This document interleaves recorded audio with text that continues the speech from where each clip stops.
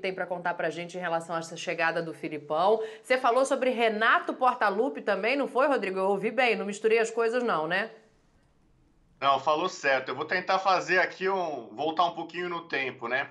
Eu dei informação essa semana no começo, depois da, da saída do Thiago Nunes, o nome preferido, o nome que o Grêmio queria, que o Romildo queria, que é amicíssimo dele, que os conselheiros do Grêmio queriam, era o Renato. O ficha 1, o Grêmio foi com tudo para cima do Renato para trazer o Renato de volta. Né? Inclusive, alguns dos conselheiros e tal, gente ali que tinha cornetado um pouco o Renato, se arrependeu. Olha, fizemos uma besteira. O, o, o cara para voltar é o Renato, os jogadores gostam dele, o vestiário gosta dele e tal. E aí, beleza, tal. O, o, o Filipão é um cara que tem muita resistência no Grêmio. Tem muita resistência. Na, na, na, diretoria tem gente que não quer, acha ele ultrapassado, que não dá mais, que já foi o tempo, que é legal a, a identificação, a história dele com, com o Grêmio, mas que, que, sabe, já passou. Aí tá bom, né? O, o Berton, que é o nosso repórter, excelente repórter lá no Sul, apurando tudo e tal. Hoje eu acordei, às vezes você não apura, né? A informação cai no teu colo, né? Vem para você, né? Você nem quer informação, tal. Não quero, não quero, mas ela vem para você. Aí eu acordei, olhei o meu celular, tinha uma mensagem de uma fonte assim, olha, a fonte assim, bomba. Renato Gaúcho vai ser o próximo técnico do Flamengo. Chegou essa informação para mim. É, Renato Gaúcho é, de, é, está pronto para assumir o Flamengo. Eu falei, mas peraí, como é que é assim? Rogério Senna é o técnico do Flamengo. Não, tal, não sei o que e tal. Aí eu, aí eu pô, sai uma, sai, chega uma informação dessa, você não, não você não vai postar e sair publicando, você vai tentar começar a ver contato. Não faz mais nada, isso é só pura. No Rio. É, aí, aí dá esse trabalho. Eu queria ficar em casa, tomando meu café da manhã, aí começa tal. Aí tá bom. Aí daí o Berton entra em contato comigo, né? A gente trabalha em conjunto em equipe. O Berton vem com a informação que o Filipão acertou com o Grêmio. Informação correta tal. Aí falou, ô Bubu, você, né, que eu tenho bastante informação do, dos times do Sul e tal.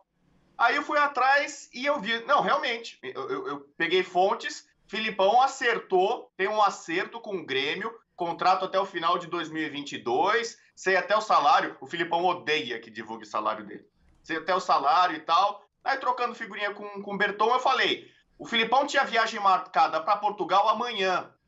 Ele cancelou essa viagem agora, em cima da hora cancelou a viagem.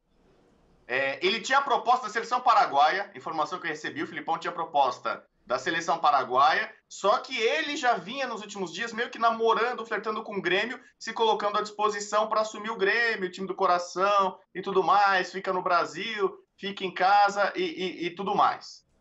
Aí, o, o que acontece? A informação que eu tive é que o Filipão, ele, ele até assinou uma proposta com o Grêmio. O Mildo estava no Sul com o Grêmio e o Filipão em São Paulo. Aí, hoje, Palmeiras joga, a gente está falando do jogo Palmeiras e Grêmio. O Romildo viajaria para São Paulo para ver o jogo Palmeiras e Grêmio e para aí sim assinar o contrato de verdade, assinar contrato com o Filipão. Já tudo acertaram de boca, já trocaram mensagenzinha, proposta tal, bababá. Acontece que dois vices do Grêmio, dois vices do Grêmio, desesperados, estão tentando convencer o, o Romildo, presidente, a não fechar com o Filipão. Não fecha com o Filipão. A resistência ainda é Peraí, tão pode grande. Pode dar para trás ainda, então? É, então, essa é a informação que eu tô falando. Trocando figurinha. Tem muita resistência. E tem dois vices. Por exemplo, o, o vice eleito do Grêmio, que era desafeto do Renato, que é o Oderich, Claudio Oderich, o Renato, logo que, que, que foi sondado para voltar de novo, ele falou: Meu, não vou voltar. Eu trombei com esse cara, esse cara é meu desafeto, e por mais que hoje ele esteja escanteado no Grêmio, ele é um vice-eleito. Ele continua pertencendo à diretoria. Ele estava em reunião na segunda-feira. Então o Renato tem essa questão pessoal com esse, com esse vice-eleito. Então, olha, não tem o clima. E o Romildo, que é amicíssimo dele, e o Romildo não se dá, não se bica com o Filipão, hein? Assim, não vou dizer que são inimigos, mortais e tal, mas a, a, relação tão amistosa que tem entre Romildo e Renato não existe entre Romildo e Filipão. Então tá bom. Aí a, a informação é essa. Por quê? Porque o, o, Grêmio não anunciou até agora. A informação até agora, Filipão no Grêmio, até onde eu vi, não é oficial. A imprensa inteira tá dando, até é, porque existe não. o acerto. Então, existe o acerto, como o Berton noticiou muito bem, e eu, e eu, depois da informação dele, fui atrás e chequei, realmente houve esse acordo, o acerto em Filipão e Grêmio, mas ainda tem gente no Grêmio tentando convencer o Romildo a não assinar o contrato. Já, você assinou a proposta tal, não assina tal. É, acontece que o Renato, de certa forma, ele já pegou e já, já falou: olha, não, não vou. Ou por questão pessoal com esse dirigente, ou porque ele está na expectativa de assumir o Flamengo. E aí daqui a pouco a gente vai falar do Flamengo, se o Ceni pode cair, e a situação do Ceni agora, até onde eu sei, não é só questão de resultado. Ah, se o Flamengo perder do Galo hoje, o, o, o Ceni cai porque o resultado é mais um resultado ruim. Não, as relações do Ceni dentro do Flamengo já estariam mais deterioradas, né? É, com um pouco de vestiário, de diretoria, já um desgaste maior do Rogério. Então, digamos assim, a, a, a saída do Rogério do Flamengo é, vai além de um resultado ruim ou não hoje no jogo, que é bem possível. E aí, o, o, o Renato, que historicamente, é, é, não vou dizer que sempre demonstrou de, o, o desejo de treinar o Flamengo, mas ele falava no passado: eu quero a seleção ou o Flamengo. São os dois times que eu gostaria de treinar. Depois que ele fez o sucesso no Grêmio em cinco anos, ele, ele não falou mais do Flamengo, falava da seleção. Só que a informação que me chegou de manhã foi essa. Aí eu entrei em contato com o staff do Renato. Primeiro eu tentei falar com o Romildo o dia inteiro. Ele mudou de celular, eu peguei o celular novo, liguei. Romildo não atendeu. Não consegui falar com o Romildo, que era uma fonte importante. O Renato, eu não consegui falar com o Renato, mas eu falei com o staff dele. um livro. É, por, por, isso que eu falei. Você quer ouvir a verdade? O, o, porque o repórter, a gente trabalha já tem um bastante, bastante, tempo de, de, de, de jornalismo. Gente, o pessoal acha que a gente só trabalha quando tá no ar, né? Porque, você só, o cara tá no ar, ligou a TV, o cara tá lá. Você não sabe o que, que fica passando. E chega informação uma, chega outra, chega aquela, aí você cruza uma, cruza com outra, não dá certo tal. E aí você fica naquela, pô, o que, que vai acontecer? Aí eu, eu ouvi do staff do Renato o seguinte. O staff do Renato. Olha, staff do Renato. Primeiro, o Renato não teve contato com o Flamengo, então, olha, não tem nada com o Flamengo, é, até porque o Ceni ainda é o, é o, é o técnico do, do, clube e tal. Então, mas eu, eu, também acho, né, que se ele tivesse tido algum, algum contato, algum ele também não ia falar. Mas então o Renato negou. Segundo o Renato, não tem contato nenhum com o Flamengo. Essa história do Flamengo, ele falou: tua fonte é furada. Quem te, quem te contou que teve contato, ter furada, não tem. Então, segundo o Renato, por enquanto não tem nada entre ele e Flamengo.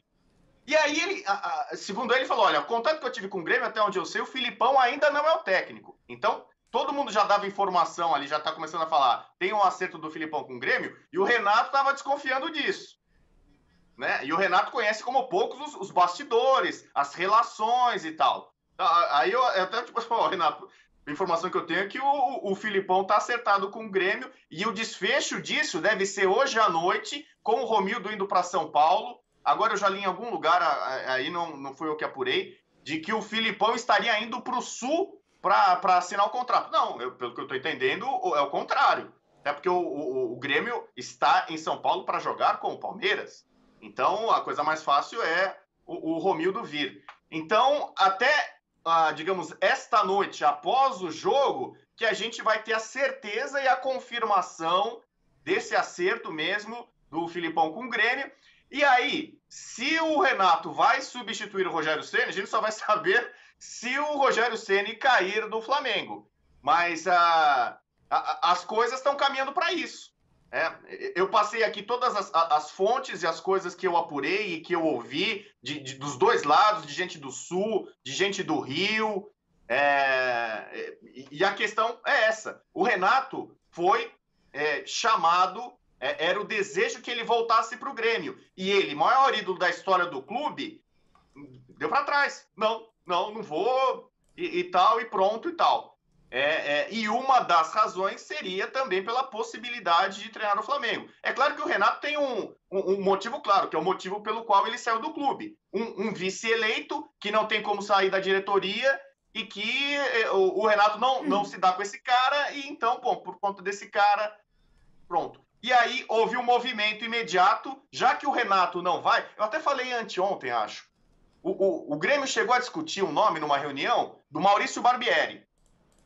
Né? Era, seria uma terceira via ali, porque havia rejeição ao, ao Filipão. Aí alguém falou, poxa, mas o, o, o, Grêmio não pode ter mais uma aposta, ou um técnico jovem, ou um técnico promissor. O, o Grêmio precisa de alguém mais firme. E aí o Romildo, que não morre de amores pelo Filipão, entendeu a ideia e abraçou e pronto, e fechou com o Filipão, que estava ali disposto no mercado, a, a, aparentemente muito animado para assumir o Grêmio. Então vamos, vamos com ele ali que tem coça larga. Já ouvi é, que seria um nome também não tão bem quisto no vestiário. Os jogadores queriam o Renato também, mais do que. Não é nem questão de não, Filipão tal. Né? Também ficaram decepcionados porque queriam a volta do Renato. Então a situação é essa.